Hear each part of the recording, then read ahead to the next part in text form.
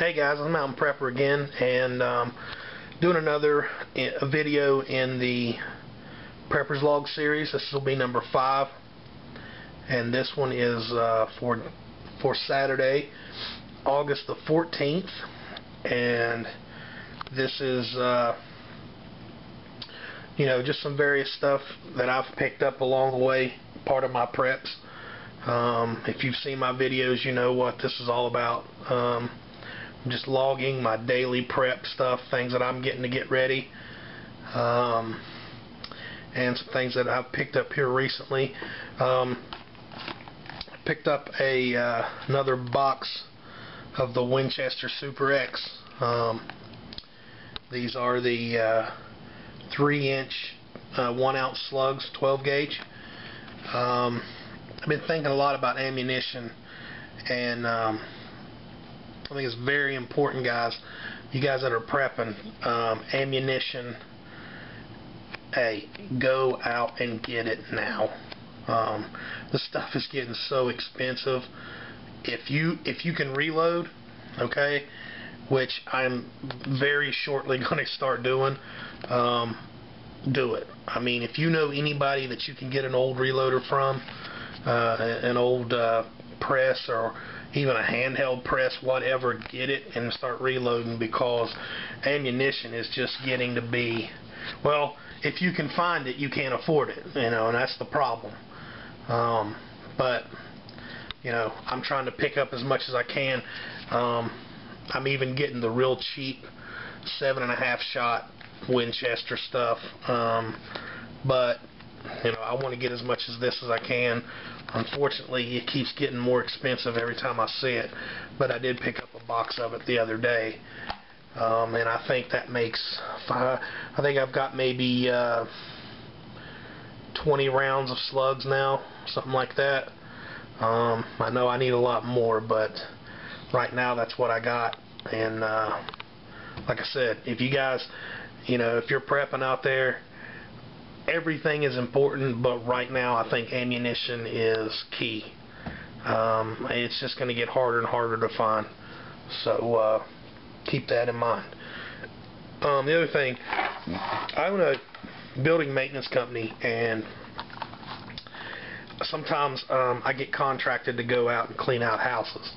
Um, houses that have been foreclosed on, or you know, people moved out, whatever, they're getting ready for rent or whatever and I get contracted to go in and maintain the building and, and secure it, um, fix anything that's been broken, mow the grass, that kind of stuff. And a lot of times I get a chance when I go in and clean these houses out, I find stuff that I can log as preps. And this is just one of those occasions. Um, I think it was Thursday. No, I'm sorry, it was Wednesday. I was in a house and um, I was cleaning it out and I ran onto this uh, shotgun cleaning kit. It's a cleaning kit for a uh, 12 gauge shotgun. Um, just setting it in the floor in, the, in this these people's living room. Um, and they had moved out and the building had been vacant for four or five months and so you know it came with the patches inside the box here there's uh, um, some more of the tips that go on there. Um, and it's full of patches. And so hey that's great. Shotgun cleaning kit. Got it. Putting it in my preps. Because uh, a weapon's no good if it's too dirty to fire right? So free prep. Cool. The thing is I picked this up um, another knife. I know you guys seen a lot of my knives but you know you may say, well, why do you why do you keep buying all these knives? What's the deal with the knives? Blah blah blah. Well, a knife is a tool, okay? In a FUBAR situation, in a bad situation, a knife is a good bartering tool. You know, people need them; they have to have them. If you have one, and you can and you can uh, trade it for something else, then it's great. I mean, it's going these are going to have value in a bad situation.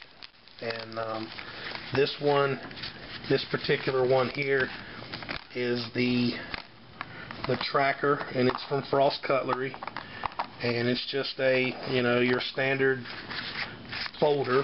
Um, I think this one was I don't know four bucks maybe.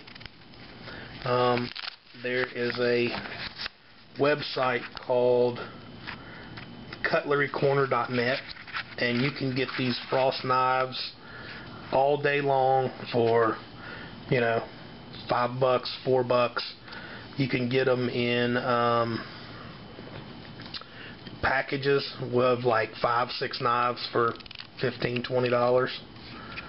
Um, but anyway this is a folder. You can see here um, pretty good size. Um, it's about five inches closed. The blade's probably three and a half inches. Whatever. It's uh, one of the body locks. You see there?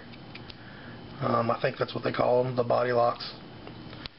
But uh, you know three bucks that's a pretty substantial knife. And it uh, fits the hand real good real sharp. You can see the edge there. I've sharpened it up myself. But uh, it's got the uh, the nut and fancy jimping right there. And then it's got uh, pretty thick spine on it. I mean it's a pretty good knife. Solid. There's no blade play in it at all. Um, hey three bucks. And like I said you can use this uh, for trade I mean you can get if there's something you need and you've got a bunch of these laying around you know in a FUBAR economic collapse type deal um, you can use this to trade for something you really need. You know if you got 20 of these or something like this trade it for something else. People are going to need these things. So anyway there it is. That's the log uh, for Saturday August the 14th um, thanks guys everybody that's uh, for watching the videos. Thanks for all your comments all the subscriptions. I appreciate it. Um, again I've said this several times. If you guys have any homemade type prep stuff um, or any ideas on anything like that hey send me a, uh, a video response or or post it up and let me know about it. I'd really appreciate it alright this is Mountain Prepper. I'm out. Remember mountaineers are always free and thanks guys. Have a good one